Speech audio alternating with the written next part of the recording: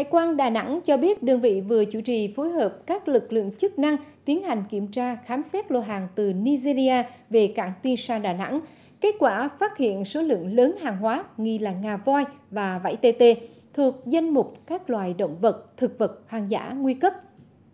Theo đó, Chi cục Hải quan cửa khẩu cảng Đà Nẵng, Cục Hải quan thành phố phát hiện lô hàng trong container số hiệu GESU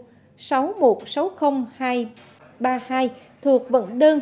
212882912 được khai báo là hạt điều vận chuyển từ Nigeria về cập cảng Tiên Sa Đà Nẵng ngày 5 tháng 1 có dấu hiệu cất giấu hàng nhập lậu ngà voi và vải TT.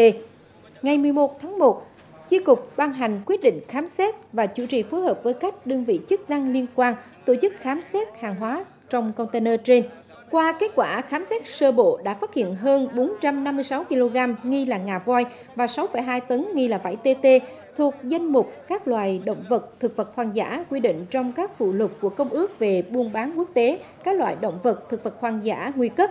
Hiện các lực lượng liên quan đang phối hợp xác minh điều tra xử lý theo quy định của pháp luật.